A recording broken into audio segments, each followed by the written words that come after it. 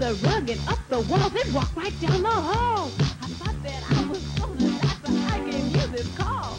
Please tell me what to do, please before I fall. He's gonna have to go. I can't take it no more. Just 'cause I got funky beat, I cannot compete. But I don't understand. The situation's out of my hands. We gonna have a change of plans.